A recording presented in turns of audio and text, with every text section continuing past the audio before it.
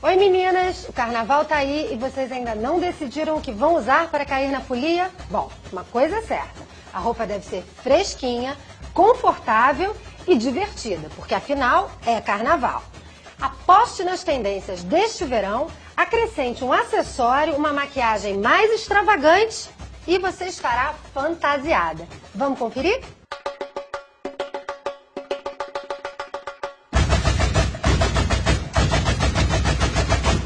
Sereísmo é uma tendência bem bacana para o carnaval. Aposte nos tons de azul do mar, nos bordados tipo escama, no brilho e muitas pérolas.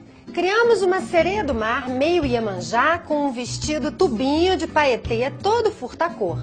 E acrescentamos vários colares de pérolas para dar esse toque especial de sereia. Depois é só arrasar e fisgar muitos peixes no carnaval.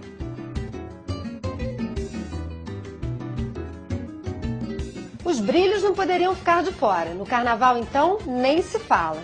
Você viu que a gente misturou um short jeans com uma camiseta de paetê? Isso é o que se chama high-low, misturar uma peça chique com uma outra bem despojada. Nesse caso, vale acrescentar o colar de pedrarias com a camiseta de paetê. A ideia é ficar over mesmo, mas afinal é carnaval. Na cabeça, um arco com uma pluma preta e pronto, virou uma melindrosa.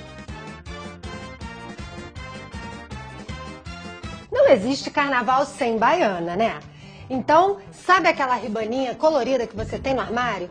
Use com uma sainha curta rodadinha de babados, pode ser uma branquinha de lese, como na nossa produção, e acrescente vários colares de bolas coloridas e pulseiras de plástico. Ah, e para dar um charme especial, não esquece de colocar uma flor no cabelo. Uma boa dica é usar as bolsas transpassadas. Além de confortáveis, elas são bem mais seguras. Para não perder a sandália pelo bloco ou pelo baile, o ideal é apostar na sandália amarrada no tornozelo.